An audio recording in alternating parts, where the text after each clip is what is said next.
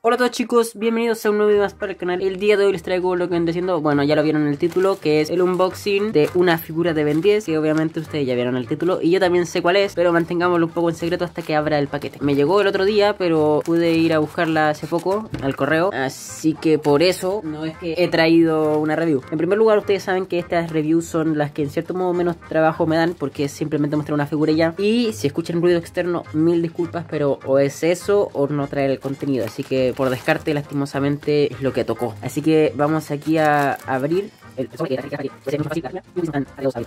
y al sacarla podemos ver que es más bolsa. Esta figura sí que está bien protegida y exageradamente protegida. Me preocupa un poco esto del que estén sobre empaquetados porque es demasiado trabajo, demasiado laborioso el tener que sacarlo del paquete en el cual vienen. O sea, no estoy diciendo que esté mal, está muy bien porque demuestra que realmente hay interés en proteger la figura, pero igual es un poco exagerado el nivel de protección porque al fin y al cabo eh, la figura no se va a romper así como así está como si fuera nueva. Es como si lo hubiese comprado nueva.